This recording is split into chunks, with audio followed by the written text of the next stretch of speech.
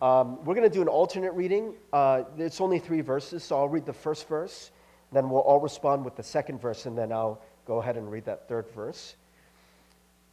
So again, that's Luke 24, verses 15 through 17. May the Lord bless the reading of God's word.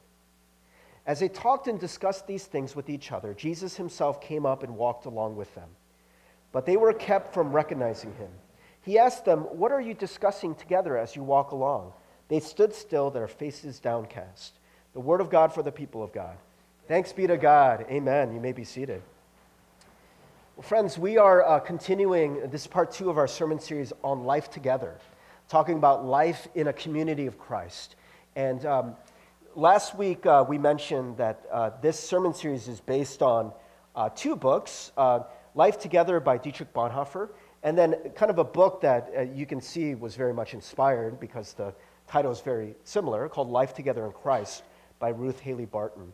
And just kind of for review, um, because I think this will be important as we move forward um, in this series that last week we were sort of kind of theoretically setting up what the community of Christ is about. And uh, so we were talking that uh, the, the only thing that really makes a community of Christ is that you're building it on Christ, right? And so we talked about this idea of Jesus being the cornerstone. The cornerstone is that um, in, in ancient building practices, it is the corner piece that you would place first. It would be the biggest, sturdiest uh, stone that you could find and that you would build two walls and it would join those two walls together. And so that would mark out the rest of your building. In much the same way that we build our communities on Christ and nothing else, not on friendship, not on um, our shared interests, not on whether we like someone or not, but solely on Christ. And so um, that was sort of a little bit theoretical last week, um, but we are going to increasingly, starting today, be getting very practical. What does that mean? How can you live in a Christian community and live this out? Um, and so uh, today's message is called People Are Strange. So that uh, particular phrase is uh, f- borrowed from a song uh, by the Doors that's, well, it's called People Are Strange. Um, and in, in, that song, uh, by the way, uh, I was telling some people that I was naming this sermon this, and that it's based on a Doors song. So the Doors are, they were a, a, classic rock group uh, from the 60s. Does anyone know the Doors? So this is kind of a, this was sort of a little bit of a bet to see, like, like would anyone know who the Doors are? It, I saw a good solid three hands. so I, I, it, I, promise I'm not going to sing the song. I thought about it, but I was like, you know what? I'm going to spare people that. Um, but the, the, the prominent lyrics from the song, it says, people are strange when you're a stranger, right? And then the chorus is like, when you're strange, and it, it talks about all these things that happen when you're strange. But uh, what I like about that song is they connect that idea of strangeness with being a stranger, right? You have that in the very uh, word, strange, stranger, right? So strangers are strange to us. They, they can sometimes impose an element of, of uh, uncertainty, of danger, even, right? Maybe you were told from the time you were a kid to stay away from strangers, don't talk to strangers or simply just stranger danger, right? If you see a stranger and they offer you a lollipop, tell you to get in their white van, you're supposed to yell out, stranger danger, stranger danger, and go running down the street and go find like someone in a uniform or something. You know, that's what we're taught from the time we're young. We're told to mistrust and not deal warmly with strangers because they can be dangerous, right? And so, friends, um, you know, as, as we think about this, um, because the scripture is going to have a lot to say about welcoming the stranger. I think it is important for us to think about how do we deal with strangers? I got to tell you, for, for me, from the time I was young, maybe it was because of those messages that I heard, you know, don't talk to strangers and all that. I think some of it's also that I was very shy as a kid, that I never dealt well with strangers when I was younger. Um, so there's this one thing that I remember very um, prominently in my mind. I was probably you know, maybe um, like, like maybe around like nine or 10 years old when this happened, a little bit older than my oldest daughter, Lise. Um, my, my brother used to go to this after school program where he'd get tutoring, and I would just have to wait there while he was getting his tutoring. And so they had a waiting room, they had all these magazines there. And I decided that I was going to bring my own magazines because I just went to this book fair and I bought all of these, like, um, do you guys remember like Highlights magazine? Where, where yeah, yeah, they're fun, right? Like, like it's like you had the two pictures, like, you know, what, what doesn't belong here, and, and you, you'd find like, you know, I don't know, someone was trying to brush their teeth with a flower or something, and you're like, ah, that doesn't belong, right? And you circle it. And um, I had a bunch of those magazines, and I was like reading them, you know, I was happy as a clam, you know, just reading my highlights magazines. And then we had to go, and we rushed in the car, and um, like, like we were about to leave the parking lot. I was like, Mom, I forgot my magazines. And so she's like, Well, go get them. Right? So I ran back inside. Remember, I'm like nine years old, nine, ten. And I go and I see the most horrifying thing. There's a strange girl reading my magazines. Right? So then I go back to the car. I say, Mom, Dad, I, you, know, or, you know my, my mom's like, Where, Where's the magazines? I'm like, They're gone. She's like, What do you mean they're gone? I'm like, I can't get them. She's like, What do you mean you can't get them? They're, they're missing? Like, no. She's like, So why can't you get them? I'm like, Because a girl was reading them. and so my mom was like, Oh my gosh. And she takes me by the hand. It was one of the most embarrassing things. It's like, Oh, I'm sorry. Those are my son's magazines. And I'm like this, right? I'm just like, like trying, I'm like, I was like turning bright red. And so, yeah, I mean, it's one thing. They, they were strange, right? That person was strange, but it was also a girl. She had cooties. I didn't know what kind of disease it, uh, diseases I could get, right? So, um, yeah, you know, I'd like to say that I've gotten a little bit better since I was nine years old. Um, you know, being a pastor helps is that, you know, you, you have to talk to people that you don't know. Uh, but maybe, you know, maybe there's some of us who it's not as extreme as nine year old Steve, but you may still struggle with talking to strangers. Now, how many of you, when you're like, you know, f- uh, flying and you're not sitting next to someone you know, that you have a little bit of anxiety about sitting next to a stranger and that stranger trying to strike up a conversation with you? Any of you like try to pretend like you're sleeping, like you're just like, you know? It's like and then you're flying to korea so it's going to be like 16 hours like oh my gosh you know? Like this is going to be really bad. But it's like it makes you nervous. You know you don't know what that strange person is going to talk to you about or what kind of probing questions they're going to ask or maybe they have bad breath or maybe they're going to get up all in your personal space or you know you never know. And so that can be very uh, intimidating for a lot of us. You know strangers they can be strange. And yet what Scripture tells us is that it is important for us to learn to deal with strangers. There's something very uh, spiritual about that. And so we're going to get more into that. But I just want to acknowledge, friends, that some of the things that we're going to be talking about this sermon series are very challenging. If you didn't hear our sermon uh, from last week, I, I, encourage you to go onto our website, uh, livinggraceministry.org, and James Kill very faithfully uploads the videos every week. There's also podcasts that Mike White puts up every week. So that's my little commercial. but I, I, want to encourage you to listen to it because it was very challenging in a lot of things. That um, we were talking about some of these ideas of what we think Christian communities should be like and, and how it, it really is. And a lot of those things shatter the image of what we think Christian community should be. And friends, I just want to acknowledge that this isn't easy. And when we talk about welcoming the stranger as Jesus would want us to do, um, I don't want to gloss over the fact that it's going to make you uncomfortable for a lot of us, especially if you already don't like talking and meeting with strangers. You know, there's a lot in our society that, that tells you not to do it, right? That it's, it's unwise. You know, and so we're going to battle against some of the messages that we've always heard from the time you were very young. You know? And so I'm not great at this, friends. And I'm not the only one, I'm sure, who feels uncomfortable sometimes with strangers, with people who are different than the other in our midst. Right? And so I just want to acknowledge that. That if, if it's going to make you a little uncomfortable, I just want you to acknowledge that and to push through a little bit, at least just as you hear this sermon. Don't let your mind, because our minds like to do this, don't let your mind let you check out. Sometimes when we hear uncomfortable things, we just start to check out, right? Like, oh, let's check Facebook, or, you know, let's daydream about, you know, what we're going to do later today. Don't do that, friends. I, I encourage you. Let's stay with that tension that comes when it comes to really being the community God wants us to be, especially when it comes to strangers. So, in the story that we started last week, and this is going to be the ongoing story throughout the sermon series about uh, two people, two disciples who are walking to Emmaus from Jerusalem after the events of Jesus' death and resurrection.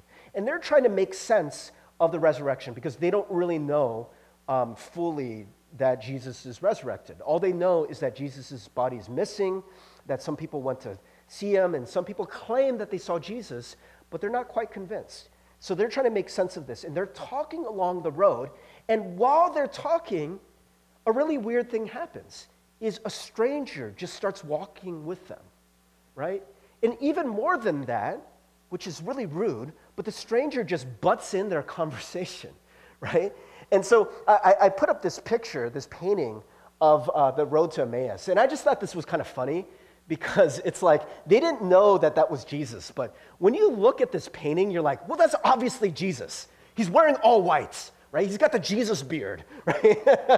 so I don't know if it would have been this, this obvious if he would have been wearing all whites. And, you know, there's other pictures, not in this one, but like Jesus is glowing. In some other paintings, like, like from like the uh, Middle Ages and Renaissance, Jesus is floating off the ground. I'm like, come on, right? Like he wouldn't be floating off the ground because they, they didn't know it was him, right? They just thought he was a fellow traveler. You know, this was an oft traveled road. And so, you know, the traveler's just, you know, he's just walking up alongside them. And as they're talking, he actually enters in their conversation, right? So, um, this is what it says in verse 15. As they talked and discussed these things with each other, Jesus himself came up and walked along with them, but they were kept from recognizing him. He asked them, What are you discussing together as you walk along? And they stood still, their faces downcast. So, friends, you know, I, I, don't know back in biblical times um, if that was an okay thing to do. But we know by today's standards, that would be considered very rude. You know, like, can you imagine that you're like at a restaurant and you're talking with your friend and, and you, you're like getting really into it, and some person from another table just sits down next to you guys, like, what are you guys talking about? It sounds really interesting, right? like, that would not be okay. You'd be like, dude, mind your own business. Like, get out of here, stranger. Maybe you'll just yell, stranger danger, stranger. Why are you talking to us? Why are you bothering us? Butt out. But the disciples don't do that. And they, you know, well, they, they sort of entertain him and they, they try to explain to him what's going on. And Jesus kind of plays dumb. He acts like he doesn't know what's going on, right? And it's very interesting because, um, you know, they're like, Are you the only person who hasn't heard about all the events in Jerusalem? Like, come on, man. Can you imagine, like, talking to someone about, like, 9 11, someone in America, like, Are you the only one who didn't know what happened on September 11th? Like, seriously? How could you not know? Were you living under a rock? And that's what they kind of feel like. But in, through the course of this, they continue to walk with Jesus. And the story culminates actually with not only them talking to Jesus, but they invite Jesus into their home, right? Which is kind of going the extra mile. They're like, hey, it's getting late. They're not like, oh, hey, that was a good conversation, stranger who butt into our conversation. They're like, hey, why don't you stay with us? Right? Which, even for that time, would have been very um, radical. You know? They go that extra mile. It's very intimate. They don't know who this guy is yet, they don't know that he's Jesus yet. Right? And yet, they make themselves very exposed. It's very vulnerable to have someone enter your home. You know, they're going to see all your personal stuff. You know, they, they didn't know they were having guests over. Whenever we have guests over, you know, like, like we got to prepare, right? We, we got to make sure that we get all the dirty laundry, all the kids' socks that are strewn across the, whenever the kids home, they just throw their socks everywhere. We just find like little socks, you know, cute little dirty socks everywhere. You know, we, we want to just make sure we, we just get all that stuff out. Right? We, want, we don't want people to see those kinds of things. But here, they let this stranger in, and he just gets to see their lives as it is right? Very intimate, very interesting. You know, and friends, what we see in this is something that may be very radical to welcome a stranger in this way. But there's a great biblical precedent for this in terms of welcoming strangers. And so um, I, I want to take a look at some of these passages that talk about um, welcoming strangers. And some of them are kind of weird, to be honest. Like, yeah, it's kind of strange when they talk about welcoming strangers. Let's take a look at Hebrews 13, 1 through 2. This is a really interesting passage. Keep on loving one another as brothers and sisters. Do not forget to show hospitality to strangers, for by so doing, some people have shown hospitality to angels without knowing it. The, the old phrase for this uh, in different translations, they say, Some have entertained angels and not even known it. You know, that, it's such a weird idea. Like, like, yeah, you know, there's a weird person that you just met, you didn't know who they were, and it turns out it was an angel in disguise. There's stories about this in the Old Testament. There's a story where Abraham and Sarah, who were, you know, they lived a semi nomadic life. They, they had a big caravan and they travel around and uh, they would kind of set up camp for, just for, you know, a few days at a time, maybe at the most couple weeks. And while they were there, other people who were traveling through, they would come by and there's one story where three strangers came and they welcomed them in and they, they said, Hey, come and rest and we'll get you some water. And then they baked them some cakes from flour and they got them um, some meats with some cheese curds and got them this nice meal. And then they found out later that these people were actually angels, they were messengers of God. And they were the ones who assured Abraham and Sarah that Sarah would have a child that they would have that promise fulfilled that, that God would be faithful to them, that they would have many descendants, right? And so, you know, these stories, I got to tell you, they're a little weird, right? Um, but it goes even further in terms of the way that um, Scripture talks about entertaining strangers. Um, so this is from Jesus' own words Matthew 25, 37 to 40.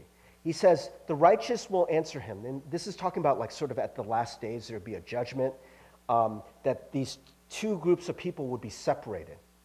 And the righteous would be separated from the unrighteous. And so, um, that this is what uh, they say to the Lord Lord, when did we see you hungry and feed you, or thirsty and give you something to drink? When did we see you a stranger invite you in, or needing clothes and clothe you?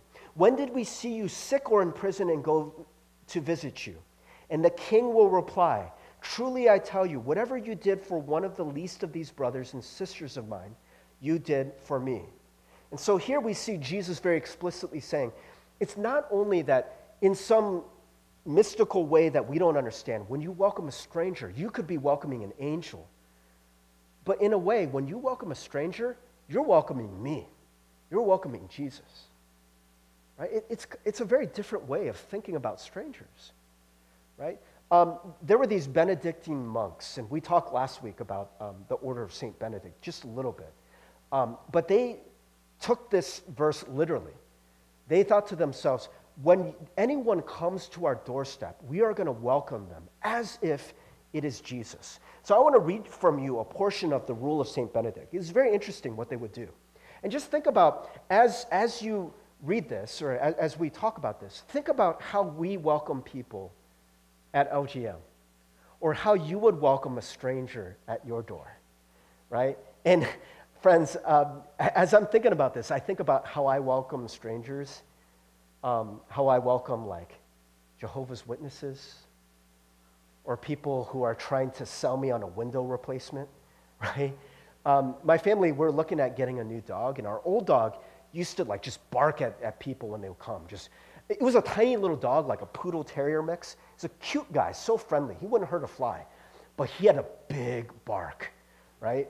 And there are a couple times Jehovah's Witnesses will come and like, hey, can we talk to you? And our dog would, ruff, ruff, ruff, and they would like, oh, okay, we're just gonna leave. And I'm like, good dog, good dog. so friends, I have to admit that this is very challenging when you look at the way these monks would welcome strangers and the way I welcome strangers. He said, uh, so this is what Benedict said All guests who present themselves are to be welcomed as Christ, for he himself will say, I was a stranger and you welcomed me. Right? That's from the verse we just read. Once a guest has been announced, the superior and the brothers are to meet him with all the courtesy of love.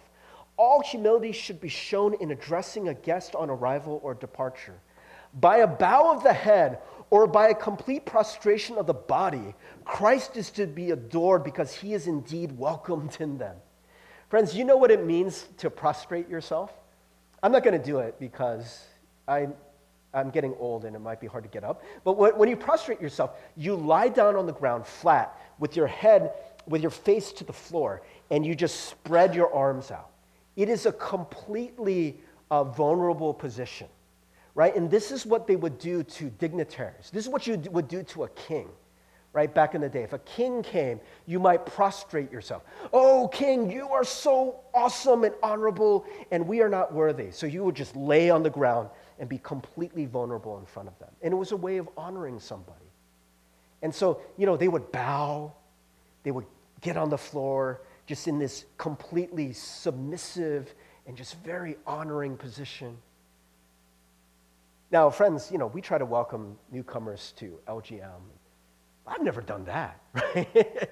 but why? Why would they do that? Because they believed that when you welcomed the stranger, you were welcoming Jesus. You bow, you prostrate yourself, not because this person is so great, but because there is Christ in your midst when you do that. Right? And then it goes on to say, um, after the guests have been received, they should be invited to pray. The abbot shall pour water on the hands of the guests, and the abbot with the entire community shall wash their feet. Now, you may know that that's, uh, there's a great tradition of that for Christianity, that Jesus washed the feet of his disciples um, in the moment when they were bickering about who would be the greatest. In this great servile act, Jesus washed the feet of his disciples. And if you go to one of these monasteries and you were a, just a stranger, you could be a robber, you could just be a delivery person, could be someone just, you know, I don't know, someone who's lost. You go to that abbey, they would treat you like an honored guest and you'd get a foot washing, right? Um, it, it's very interesting, too, that um, I, I, didn't include this part of it, but uh, if you were fasting, because monks would often fast, um, the abbot, the, the head of the monastery, could break their fast so that the, the, the person who was coming would feel welcome, so they wouldn't eat alone, right? That's how highly they thought of it. I mean, you think about like all these monks' disciplines, right? And how seriously they took them. They said, but because the stranger is there with you, the abbot can break their fast. But not the rest of the monks. You guys have to keep your fast. It, that's actually in there too. but um, friends, that's how honored strangers were.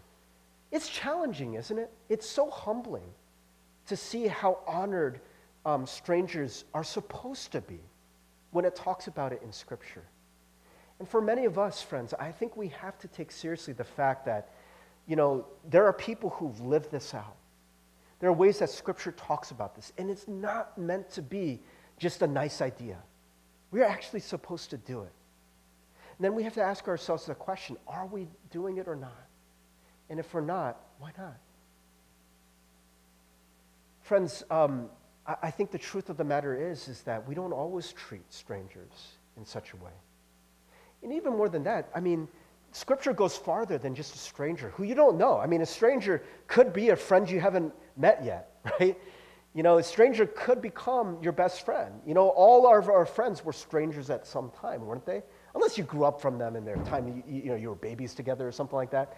But most of our friends were strangers at one time right? So stranger could be good, stranger could be bad. But what about the ones who are just bad? This is what Bonhoeffer says about um, life together. This is actually at the very beginning of his book. He says Jesus Christ lived in the midst of his enemies. At the end, all his disciples deserted him. On the cross, he was utterly alone, surrounded by evildoers and mockers. For this cause, he had come to bring peace to the enemies of God. So the Christian too belongs not in the seclusion of a cloistered life, but in the thick of thorns, there is his commission, his work.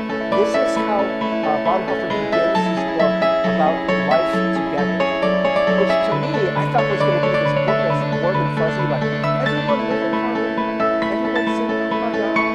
Everyone just get along and love and gentleness and you know lots of hugs and it's going to feel good and warms and warm and fuzzies and all this stuff. But he begins his book about saying the life together if nothing else, if you look at the life of Jesus, it's a life with enemies. It's a life with people you don't like. That should be life together. And then he goes on to quote Martin Luther, and this is, gets a, li- a little even more challenging. So Martin Luther said, The kingdom is to be in the midst of your enemies.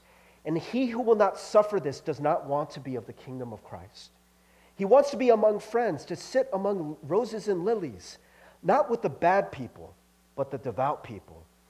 Oh, you blasphemers and betrayers of Christ. If Christ had done what you are doing, who would ever have been spared?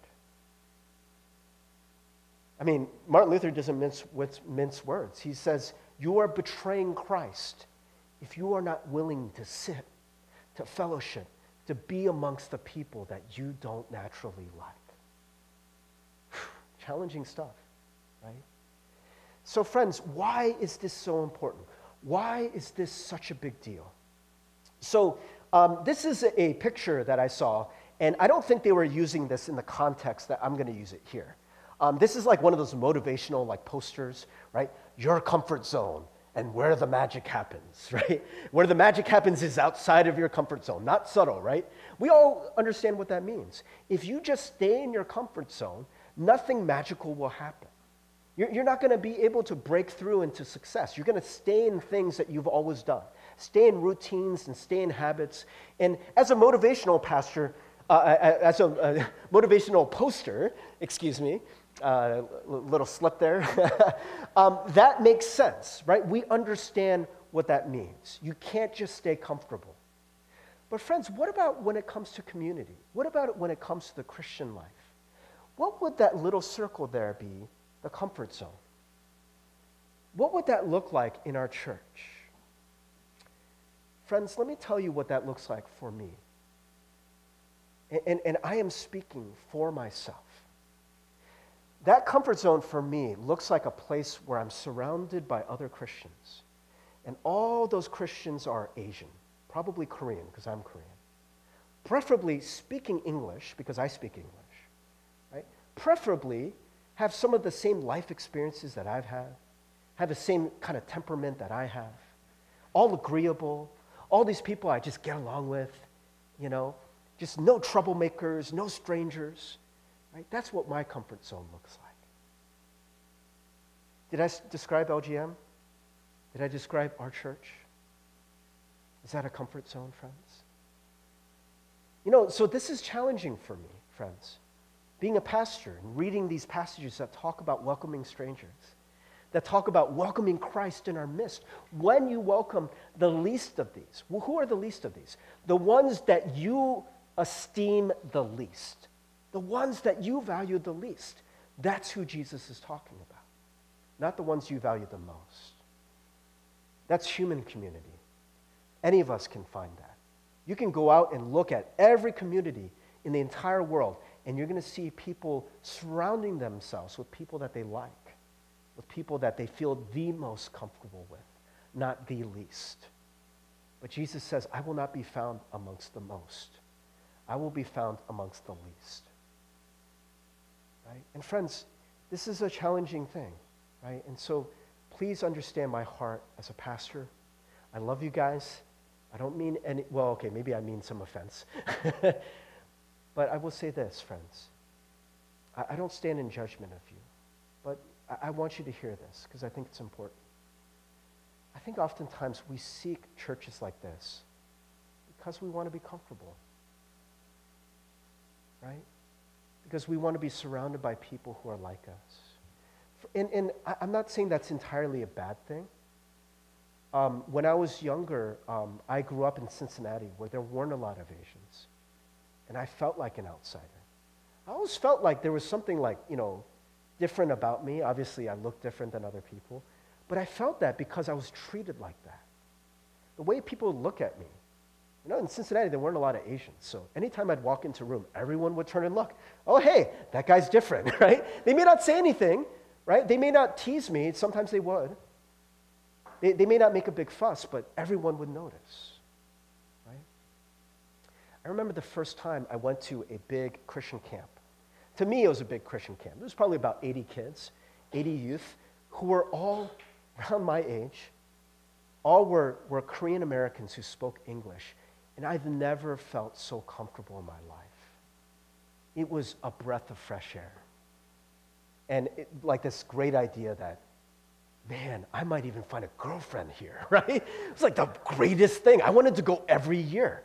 I always wanted to be in those circles Korean American Christians where I would feel accepted, right? And I sought that out. Every time I go to find a church, I try to find a church like this if I had a choice.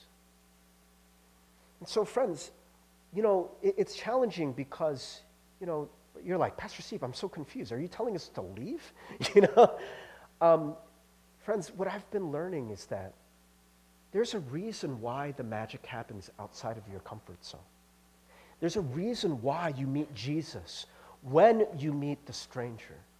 And I think the reason is this because you can love the people that you like without Jesus.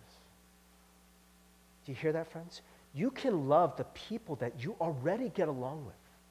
You can love the people who are like you without Jesus. You don't need Jesus. They're just called friends, right? Or just your natural community that you're going to be you're to gravitate towards anyways. Right? For to love a stranger, someone who is genuinely strange, someone who is genuinely not like you, you are going to need Jesus' help. You're going to need the power of the Holy Spirit. There's this one time where I thought that God would be calling me away from LGM, a couple of years ago. And I went to interview at a church in Seattle where it was very, very diverse. And um, when I say diverse, I don't mean that it was like you know, 10% black people or, you know, 5% Latino. It was like seriously like M&Ms. I mean, they were just all mixed up. They spoke 70 different languages at that, that church. I mean, it like seriously, like, like it, it just every, you know, race, every nationality you could imagine was at this church, right? And I didn't end up, you know, getting that job. Um, and for some reason, you know, God put me back at LGM, and I came back. But when I was asked to come back to LGM, um, I had uh, one request. And my one request was this. So this was two years ago. I made this request. I said, I have gotten this bug.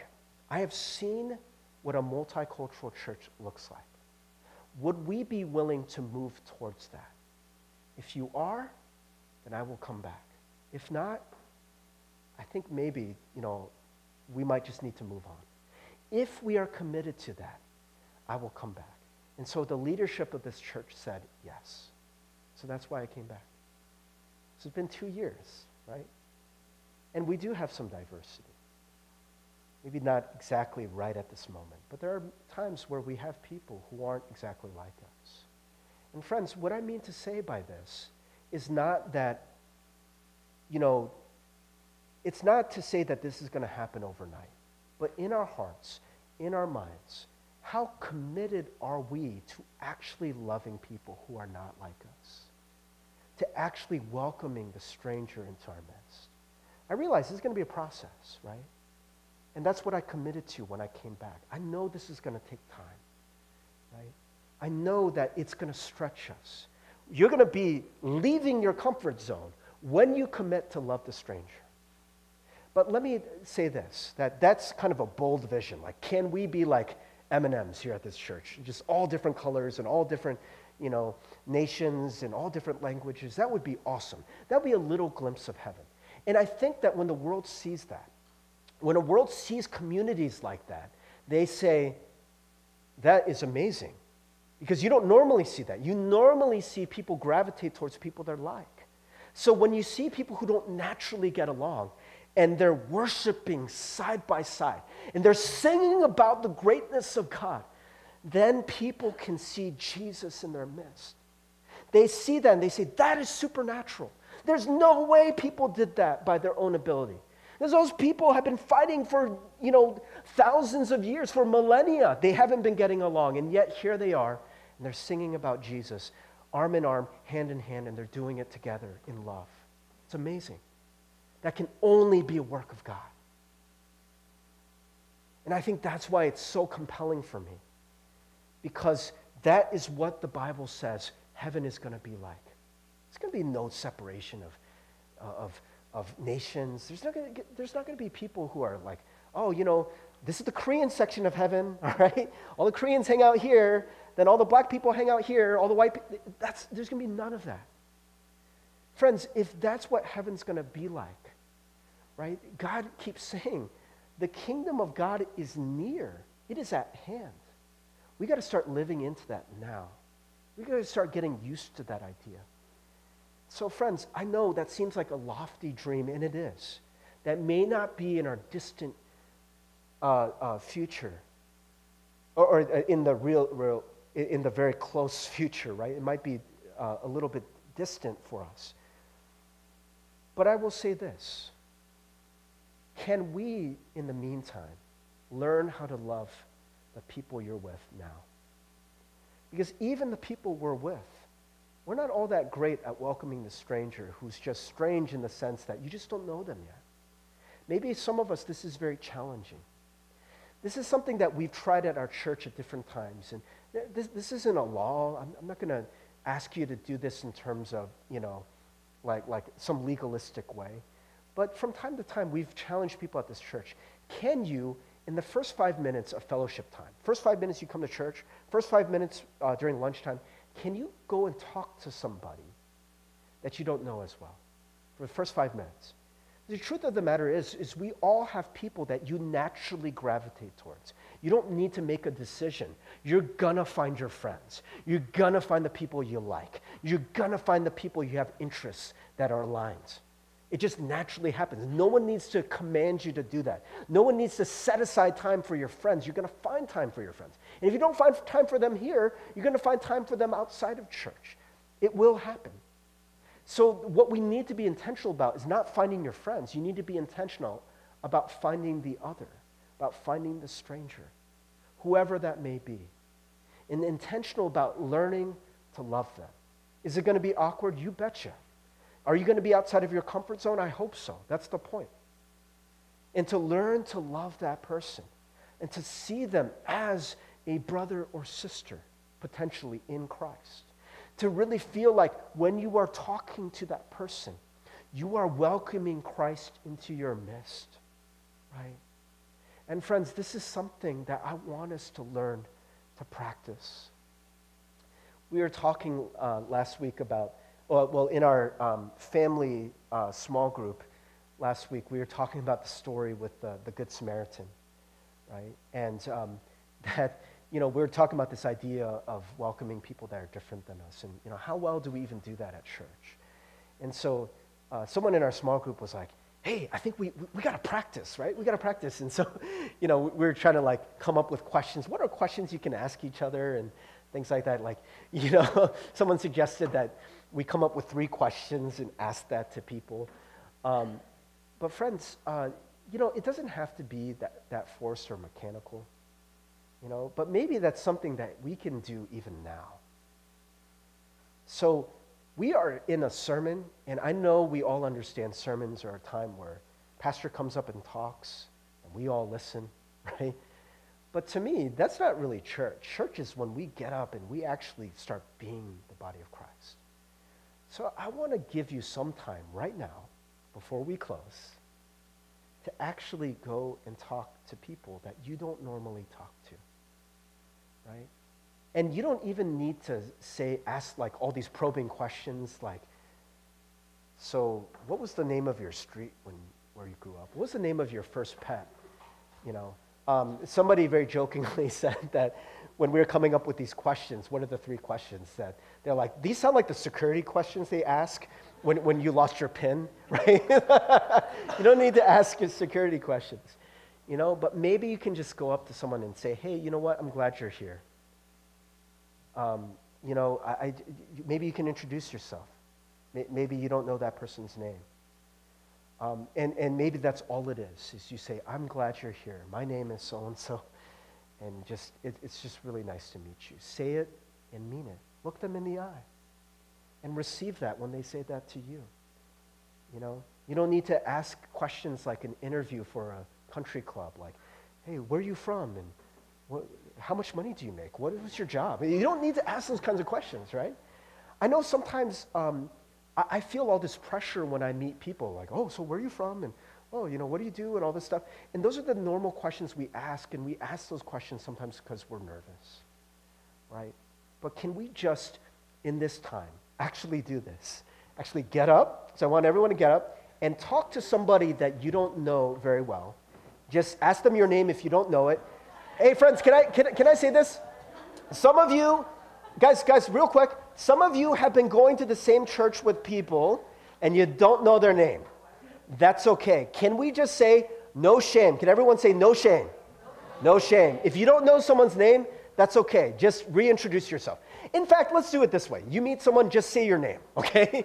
like, like they don't even need to ask you. Like, like even if you're like, you should know my name, that's okay, right? No shame, right? Just introduce yourself, right? And just say, I'm glad you're here. I'm really glad you're here. So, guys, go up and, and if we can just greet a few people that we don't know. Yeah, it's awkward. That's okay. We're learning, we're getting over it.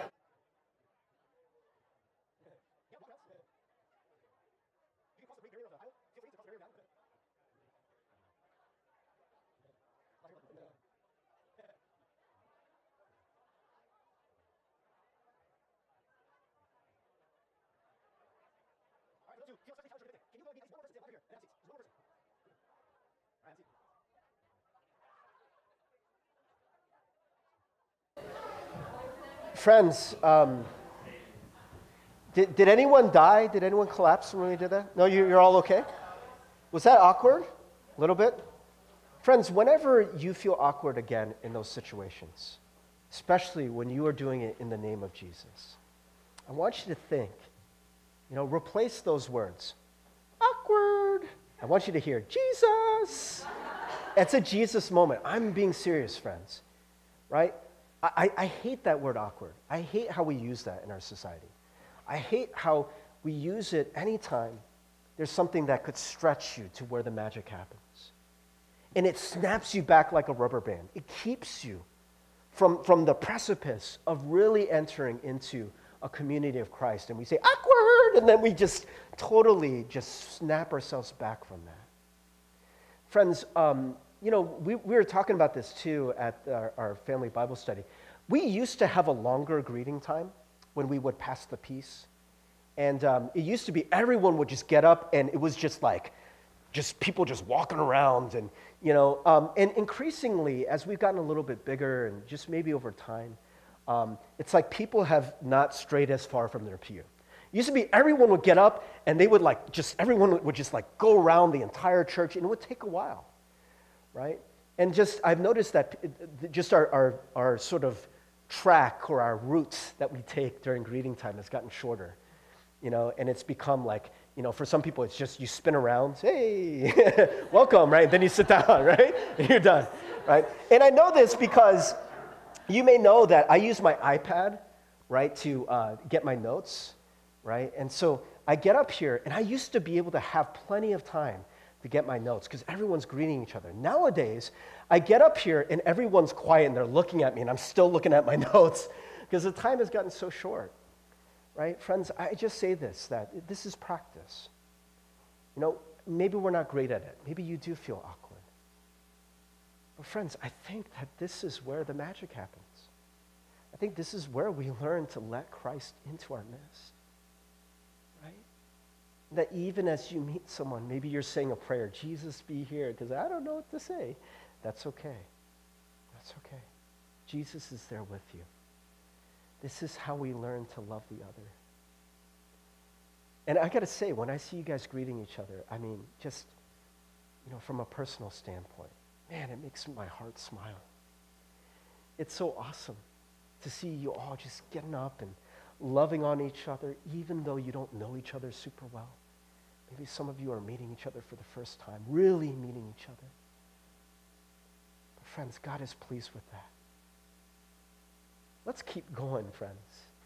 Let's build the foundation of this community on Christ, not on what makes you comfortable, but on what Christ commands us to do and what he promises will happen when you do that. I will be there.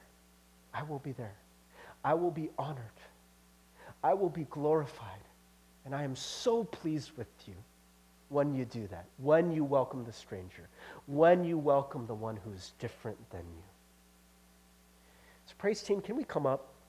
Maybe let's just uh, say a short prayer. Friends, we, we uh, talked last week about not trying to insert our own wish dream into the community of Christ. But maybe instead of trying to insert our own wish dream, we can just ask God, what do you want from us? What do you want for this ministry? And maybe we can just listen. So let's just take a moment to do that. God, what do you want from us? What do you want to see emerge in LGM, in our midst? And maybe some of us, this isn't your regular place of worship for some of our friends who are visiting. But maybe wherever you go back to, whatever community you're a part of, what is it that God would want to see come to fruition in the short term at least? How can we love the other, the stranger in our midst? And what would our communities look like if we did that? So let's go before God with that question God, what is it that you want from us? Jesus, how do you want to be made manifest in our midst? Let's just stay with that. Let's just pray that for a moment. Let's just be still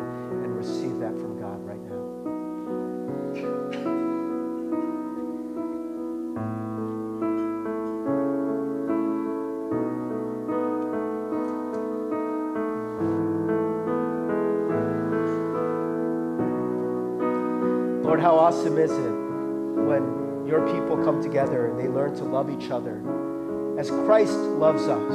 And we learn to love the other. We learn to love the stranger. We learn to love the one who is not like us. God, you are so pleased with that. You are so honored by that.